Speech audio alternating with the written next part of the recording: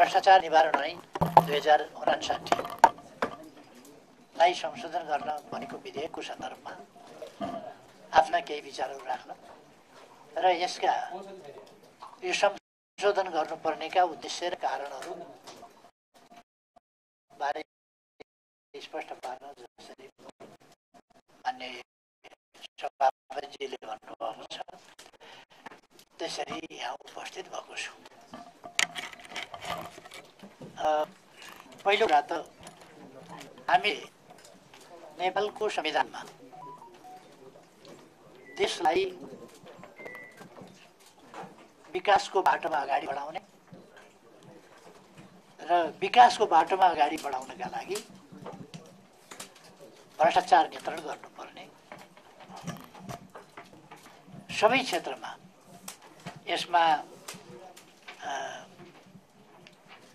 यो संविधानको धारा पाँचमा आर्थिक समुन्नति र समृद्धि नेपालको राष्ट्रिय हितका आधारभूत विषय हुने भन्ने उल्लेख गरेका छौँ। र धारा एकाउन्नको खण्ड खमा सार्वजनिक प्रशासनलाई स्वच्छ सक्षम निष्पक्ष पारदर्शी भ्रष्टाचार मुक्त जन उत्तरदायी र सहभागितामूलक बनाउने सुशासनको बनाउँदै सुशासनको प्रत्यावृत्ति हुने भन्ने व्यवस्था हामीले संविधानमै गरेका छौँ। संविधानमा यो व्यवस्था भइसकेपछि हामी संविधानबाट निर्देशित भएर संविधानले निर्दिष्ट गरेका व्यवस्था गरेका र निर्दिष्ट गरेका यी कुराहरूको प्रभावकारी कार्यान्वयन। जसबाट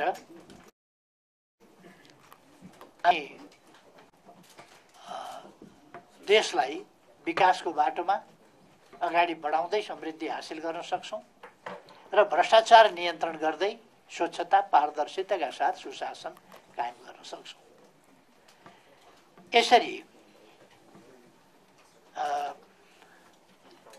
भ्रष्टाचार नियन्त्रण र निवारणमा प्रभावकारिता अभिवृद्धि गर्नु आवश्यक छ र त्यसै गरेर भ्रष्टाचार निवारण ऐन उन्साठीमा रहेको भ्रष्टाचार सम्बन्धी कसुरको परिभाषा सार्वजनिक संस्था राष्ट्रसेवकको परिभाषा कसुर र सजाय अनुसन्धान तथा अभियोजन लगायतका विषयमा संशोधन त्यो अघि मैले भनेका प्रयोजनका लागि आवश्यक देखियो।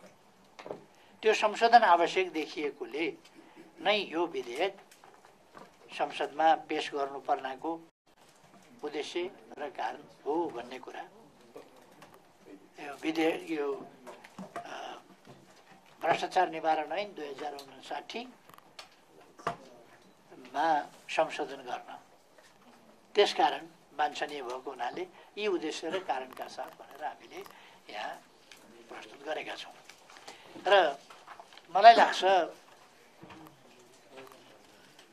यो भ्रष्टाचार निवारण ऐन दुई हजार उन्साठीलाई संशोधन गर्न आवश्यक छ। अघि नै मैले भने भ्रष्टाचारको नियन्त्रण र निवारणका लागि न्यूनीकरण र अन्त्यका लागि। यो आवश्यक छ संशोधन गर्न। र सँगसँगै यसको कार्यान्वयनका पनि प्रभावकारी बनाउन आवश्यक छ। प्रभावकारी कार्यान्वयनका साथ अगाडि बढाउन बढ्न आवश्यक छ। र म यो विधेयकमाथि छलफल यहाँ प्रारम्भ भइराखेका बेला यसमा नेपाल सरकारको भ्रष्टाचारप्रतिको शून्य सहनशीलता। म भ्रष्टाचार गर्दिनँ र अरूलाई पनि भ्रष्टाचार गर्न दिन्न भन्ने स्पिरिट त्यो भावना। र हामीले यसै यो पहिले प्रस्तुत गरिएको प्रस्तावमै पनि समृद्ध नेपाल सुखी नेपाली भनेको छ। नेपाललाई समृद्ध बनाउन जरुरी छ। र नेपाली जनतालाई सुखी बनाउन जरुरी छ। नेपाल समृद्ध होस्। नेपाली जनताका आवश्यकताहरूको परिपूर्ति होस्। जैविक र मानवीय आवश्यकताहरूको परिपूर्ति होस्। जैविक र मानवीय आवश्यकताको परिपूर्तिसँगै अधिकार प्राप्ति अवसरमा पहुँच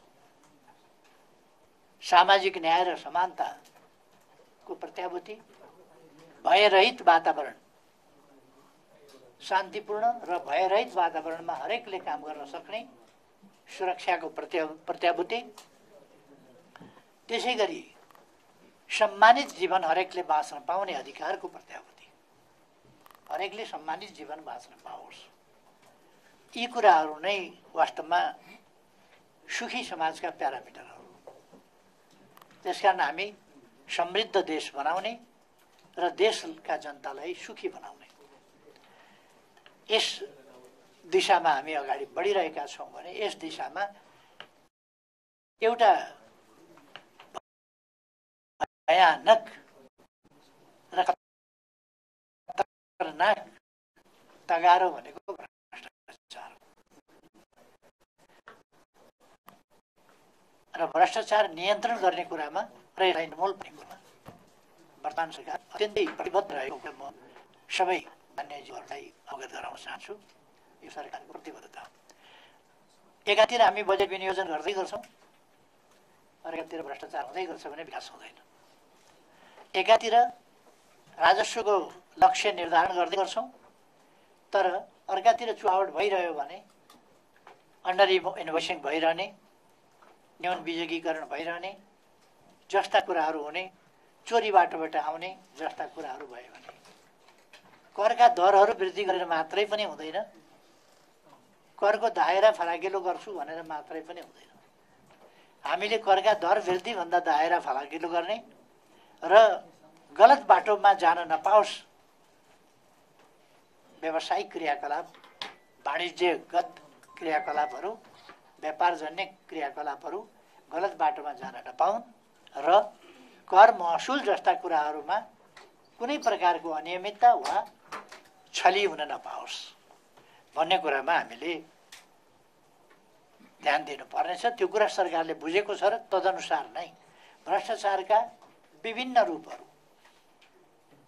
तिनीहरूलाई पहिचान गर्ने र तिनीहरूलाई रोकथाम र नियन्त्रण र अन्त्य गर्ने विषयमा सरकारको प्रतिबद्धता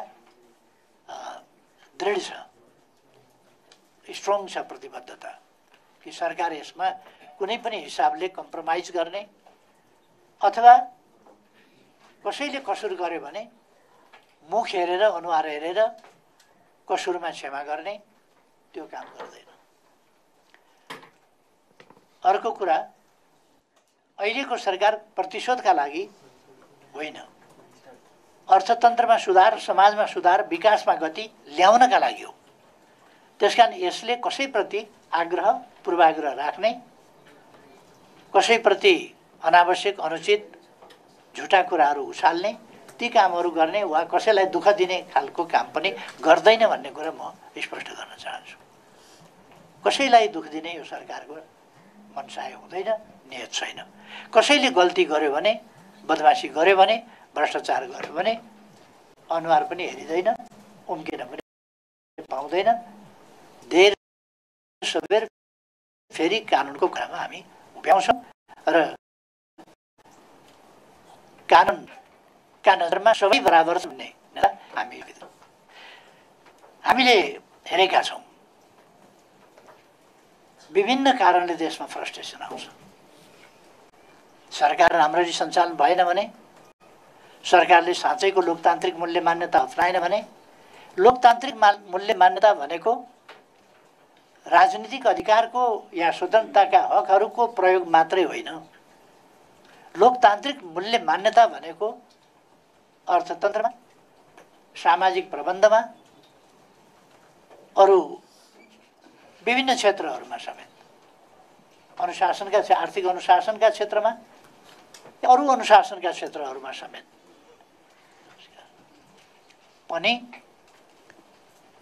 यी कुराहरू चाहिँ प्रतिबिम्बित हुन्छन्। अथवा लोकतन्त्र भनेको हामीले भनेको लोकतन्त्र पोलिटिकल फ्रिडमको लोकतन्त्र मात्रै होइन। यो कम्प्रिहेन्सिभ परिपूर्ण लोकतन्त्र हो जो अर्थतन्त्रसँग पनि सम्बन्धित छ जीवन जनताको जीवनस्तर उकास्नेसम्मसँग सम्बन्धित छ। जनताको जीवनमा सकारात्मक परिवर्तन ल्याउने कुरासँग सम्बन्धित छ नत्र पोलिटिकल राइट्सको मात्रै कुरा गरेर डेमोक्रेसी हुँदैन पुग्दैन।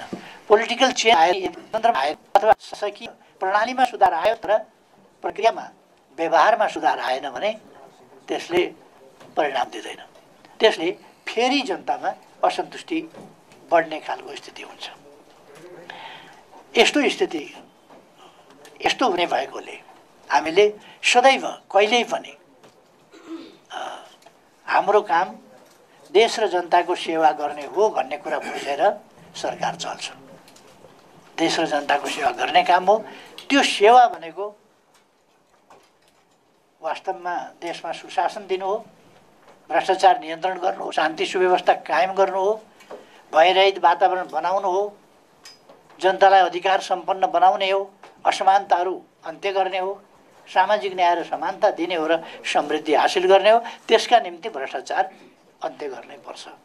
यसर्थ यो विधेयक जुन आएको छ यो भ्रष्टाचार निवारण ऐन दुई हजार उनासाठीलाई संशोधन गर्नका लागि जुन आएको छ यो एकदम समसामयिक छ र यसमा केही सानातिना संशोधनका विषयहरू हुन सक्दछन्। शाब्दिक वा वाक्यहरूमा संशोधन अथवा कहीँ कहीँ केही केही कुराहरूलाई परिमार्जन गर्नुपर्ने हुन सक्दछ। त्यसैका लागि त हामी समिति बसिरहेको र यसलाई अगाडि बढाउनेछ भन्ने मैले उपयुक्त संशोधनसहित अगाडि बढाउने छ। र भ्रष्टाचार नियन्त्रणको मूल मनसाय भ्रष्टाचार अन्त्यको मूल मनसायलाई पुरा गर्नका लागि सानातिना अरू तपसिलका कुराहरू भनेका धेरै ठुला कुरा होइनन्। तिनीहरूलाई मिलाएर लान सकिन्छ त्यसमा संशोधनलाई छलफल गरेर त्यसरी मिलाएर लानुपर्छ भन्ने मेरो आग्रह हो मैले अहिले धेरै कुरा केही नभनौँ यति भनेर मैले विश्वास लिएको छु कि समितिले यसलाई यथोचित ढङ्गले र यो ढिलो गर्नुभएको छैन एउटा के समस्या देखिएको छ भने प्राय विधेयक तयारै नहुने भइहालेका पनि फेरि समितिमा अल्झिने खालको स्थिति नहोस्। त्यस कारण समितिमा विधेयक नअल्झ्यौँ हामी सरासर छलफल गरेर सरासर पास गरेर अगाडि बढाउँ ताकि फुल हाउसले पनि काम पाओस् बिजनेस पाओस्। फुल हाउसले बिजनेस नपाएर संसदले बिजनेस नपाएर संसद बस्ने कि नबस्ने भन्ने जस्तो स्थिति बनिरहेको छ त्यो स्थिति नबनोस्। र हामी यसलाई अरू पनि छन् यो समितिमा भने अगाडि बढाउन छैन भने यस विधेयकलाई चारवटा छन्। त सबै विधेयकलाई लगातार छलफल गरेर भए पनि हामी अगाडि बढाउँ र टुङ्ग्याउँ भन्ने मेरो आग्रह छ। धन्यवाद।